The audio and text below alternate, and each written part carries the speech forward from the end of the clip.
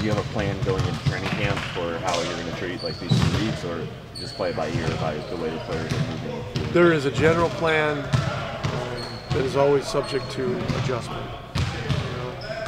Um, We've got a great group of guys here, so they they really handled the, the two consecutive days after the game really well. And they understood, you know, you know, we played Milwaukee, and you know they just they're so good. They they put you in situations and make you look bad and, and stuff like this. Our guys know we got we got work to do. We got work to do in the next nine or ten days before we play Washington.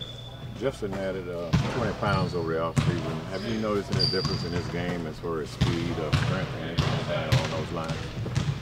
Well, his speed hasn't hasn't changed. He's still fast. Uh, he's still quick. Um, but he has more strength, more durability.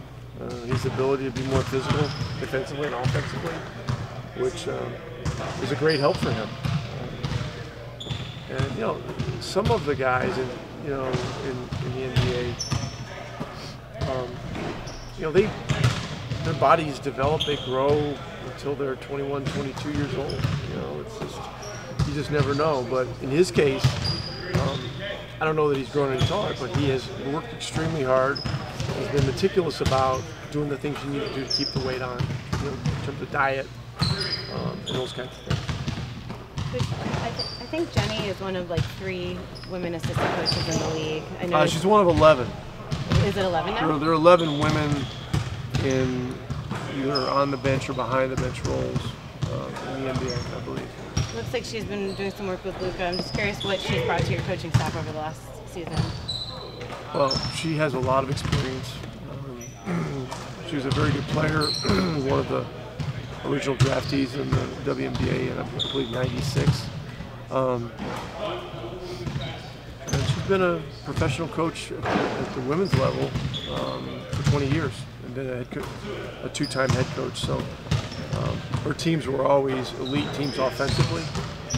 She has a very creative mind offensively and, uh, and a very and a very and a lot of experience uh, dealing with the defensive end as well. And just uh, it's given it's given me another different type of uh, mind to tap into. Um, but she's been great. She's great on the floor with guys. Uh, they respect her. They know how hard she works at the game, and uh, you know, she speaks the language of NBA basketball. Was she one of the ones that helped DeAndre improve his free throw shooting last year? She was involved with all our guys last year. How uh, how do you see Maxi's role evolving or maybe expanding, uh, given Dwight's uh, uncertain status? Well, we're look. He's he's a starting caliber player. There's no question about that. Um, and you know, I've left it open with our roster that you know we're going to look at a lot of different things. I believe we started a different team every game so far.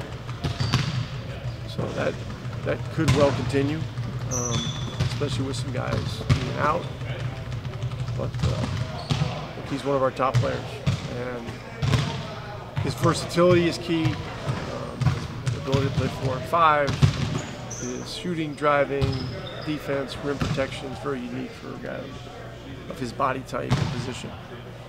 See the uh, official big German now, I suppose. yeah. following him, Well, I following the mean, guy's footsteps. look, we don't get into the comparison game around here. I mean, to be honest, I mean, you know, it'd be unfair to anybody to compare to Dirk and what he accomplished. Um, but it's you know, it's great that just about all these guys uh, were able to spend some period of time with Dirk as a teammate. And, you know, Curry spent a whole year with him. Maxi spent you know, a year and a half. KP spent you know about a third of a year. It just it just adds something. Speaking of Dirk, what do you think of those logos? Awesome, awesome. You like it? Yeah, I just think it's a fitting tribute to you know, a guy that stood for all the right things in the organization of the city. It's a symbol. He'll be an enduring symbol of, of greatness and uh, you know integrity and humility, and that's uh, it's a great message for people in our city, organization, what we stand for, and, and it's nice for him too. Look at JJ as kind of being the culture carrier in, in some way now, kind of post Dirk, or has he always kind of had the same role in the team? Well, he's one of our leaders for sure. Um, he's the last guy remaining from the championship team, and that's significant.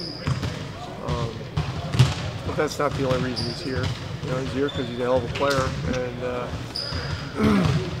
he's worked extremely hard and, and had a very good training camp. So he'll um, he'll play some significant minutes tomorrow, certainly with, uh, with Brunson being out.